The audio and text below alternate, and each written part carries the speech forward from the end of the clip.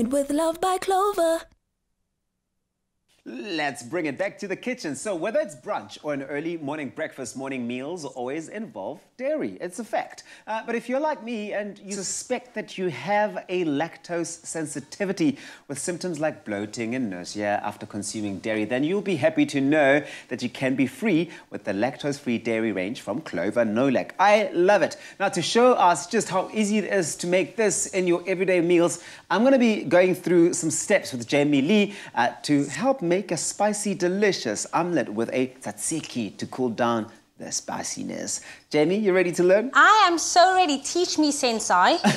well, I know that you like an omelette, like I do, right? And I, lo- I, know that you like to switch it up as well, make it spicy. So I thought, let's bring some ingredients together and see how we can create this magic using something that is so, so incredible and life-changing for people with lactose and, uh, uh, sensitivity. Uh, so let's go through your ingredients. What have yeah, you got? So we have some eggs here. So we're going to be using four eggs. Obviously, it is an omelette. So we're going to need our eggs. Yes. Oopsie, and a, a trick that I learned is that if you let the shells go in, you use the back of it and just scoop it out. Okay, yes, correct. Yeah? You're Did doing you know well. that? Yeah. Yes, yes. You're doing well, sweetie. You're doing well, sweetie. That's exactly how I would do it too. So cool. It's about four eggs. Uh, I find it like a really good omelette. At least like the perfect size for me would be like four eggs. Protein, protein, protein, protein galore. all the way. But what I want you to do, and this is something that you're doing quite differently here, is add some baking powder on, into that.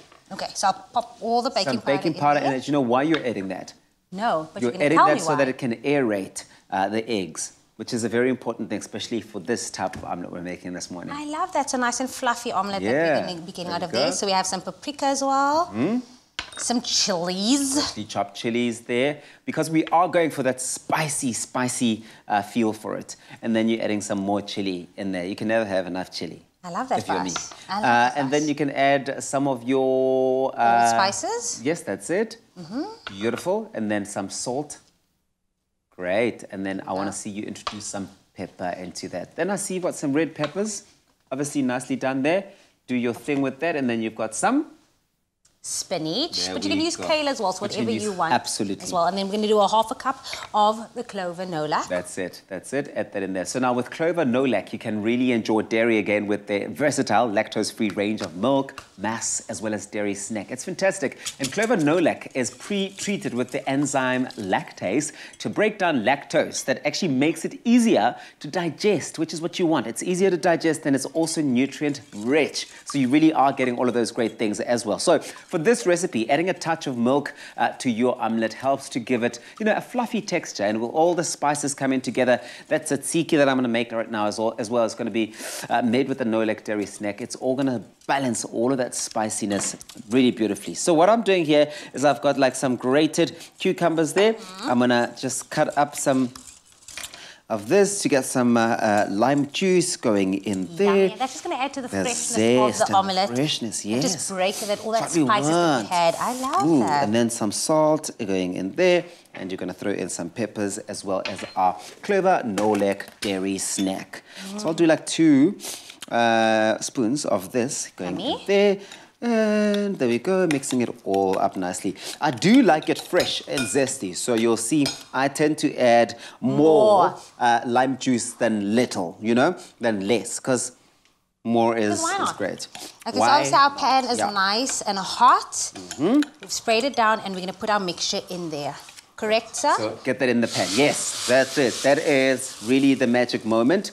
That in the bum, pan, but you got to watch your pan, right? You will have uh, obviously added How some long do spray. No, no, no, no. Just, uh, making sure that you're not like losing focus here, uh, but making sure that you obviously will have sprayed it before, so that your omelette doesn't actually stick, Stick. onto the pan. Unless you've got a non-stick pan, uh, you've got to make sure that you really pay attention to that.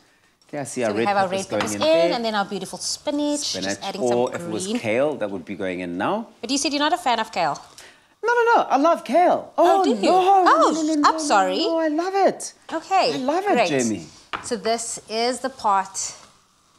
That gets quite uh, technical, right? Yes. Uh, but uh, this particular recipe, what we're doing here, this is a great way to show that you can really enjoy dairy again with no-lac and uh, all of the taste and none of the symptoms. And if you are the type of person who enjoys their porridge with maas, for example, amasi, you can do that with uh, no-lac, uh, with lactose-free maas as well. And I think it's really, really such a great, uh, great alternative for people who suspect that they may be uh, sensitive to lacta- lactase.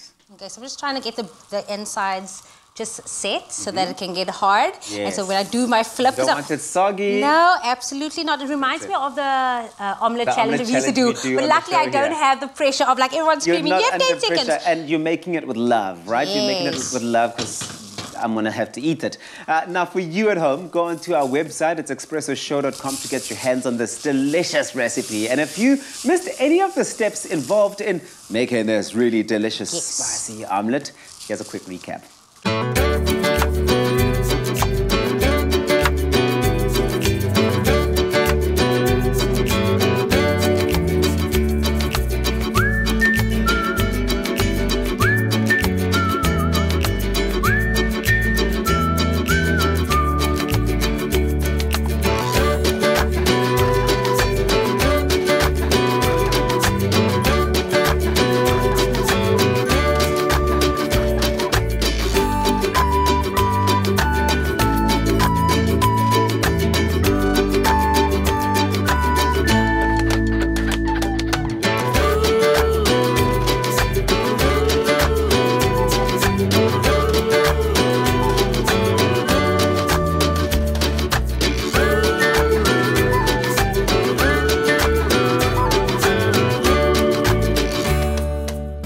With love by Clover.